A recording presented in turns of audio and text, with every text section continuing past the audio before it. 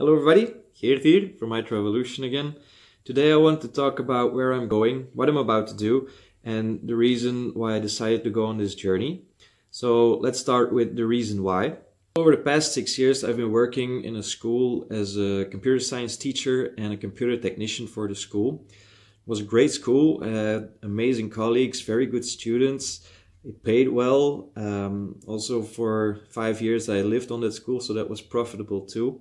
So four and a half years into this career, uh, the pressure started to weigh on me.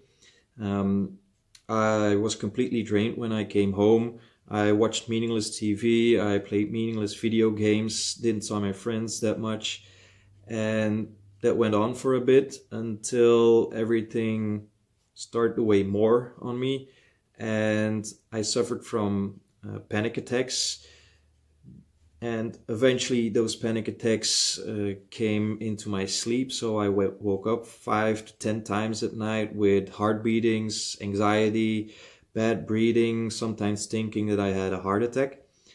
And yeah then that alarm clock goes off in the morning and you have to go back to that stressful job and do it all over again. After uh, one week of insomnia i went to the doctor and he told me i suffered from a burnout and it took me three months working on myself uh, until I could go back to the job again. Um, I worked on myself through yoga, meditation, sports, healthy food, drawing, walking in nature, everything that could set my mind off of stressful things. Um, it helped. I could go back. But we're now almost two years after my first panic attack and I still feel I'm not fully recovered from the burnout. So I made the decision almost a year ago that I had to take a break from it all. I basically quit my job at the beginning of September and we're now a few days away from heading to the rainforests in Peru where I'm going to drink ayahuasca with some shamans. Um, I stumbled upon ayahuasca on the internet and it really called to me. Well, what is ayahuasca? Ayahuasca is a plant medicine that has been used by the indigenous people of Peru for over 4,000 years.